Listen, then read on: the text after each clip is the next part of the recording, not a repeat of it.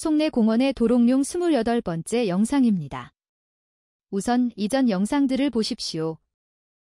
도롱뇽 유생들끼리 신경전을 벌이거나 싸움을 하는 듯한 장면들을 모아 보았습니다.